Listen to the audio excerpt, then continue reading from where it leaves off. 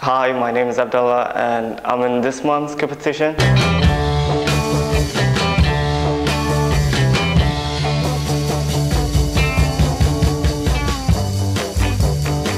If you like my drawing vote for me.